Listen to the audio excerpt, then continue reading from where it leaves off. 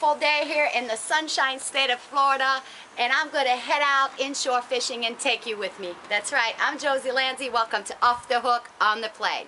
We're going to go inshore fishing today and hopefully catch that fresh catch of the day and bring it back home and create yet another off the hook recipe. So let's get fishing so we can get cooking. Well, it's a little windy today so we decided to stay inshore and we're right off the beach here outside of our neighborhood in about uh, six and a half foot of water and uh, we're catching trout. Right, caught one already, a nice one, it's a keeper. So we're to stay here for a little while and definitely bringing home some dinner. Yeah, another trout. Take a look at that little beautiful thing. You know it's too little though. We gotta put it back. So far, a nice fishing day. All right, it's going back. Got even little sea bass out here. Too bad it's too little. These gotta be 10 inches and this is way too small. But we're gonna put it back. Nice fishing day. This is like how many kind of fish can you catch kind of day. Look at here, I got some lizard fish right here. They're no good, but it was fun. It was another catch. I'm gonna put First catch of the day. Take a look at this nice trout Brent just got. You know I'm bringing home for dinner. Yum yum. Ooh, got another one. Now this one is a keeper. Yeah, baby. Gotta love it. Well, it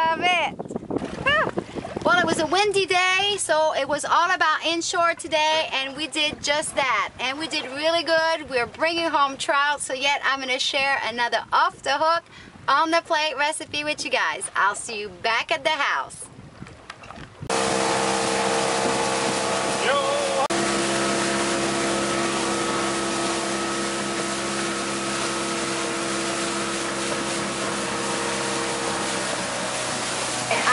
Here one of our beautiful trout we caught today.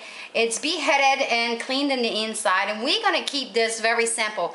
We're gonna pan fry an entire trout the old-fashioned way. That is being done by adding one part flour and one part cornmeal, a little sea salt, and black pepper. You want to take your trout and add it to your Ziploc bag and we're to shake that until it's completely well coated all the way in and out. Just like so. All right, here in my Teflon pan outside on the side burner of the grill on medium high heat, I actually have a quarter cup of the extra virgin olive oil and three tablespoons of butter. To add your floured trout at this point. Just like so.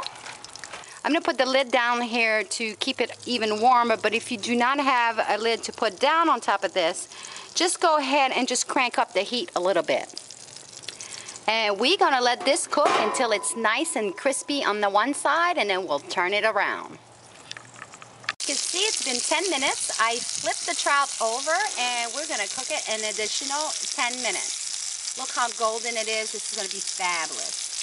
Take a look at this beautiful old-fashioned pan-fried trout that we kept whole as, as it's still warm, you want to go ahead and take a lemon wedge and just squeeze a little lemon on the top.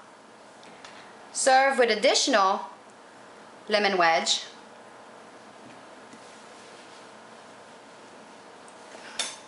And top with some chopped chive. Just like so.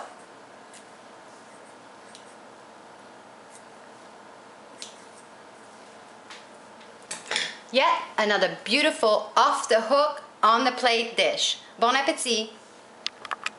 It was yet another great inshore fishing day today. We did come home with that fresh catch of the day. I hope you try that fabulous old-fashioned trout recipe. I guarantee you're gonna love it. Leave me comments. I love to hear from you. Until next week, you guys, I'll see you back here for another off the hook on the plate recipe. Bye, everyone.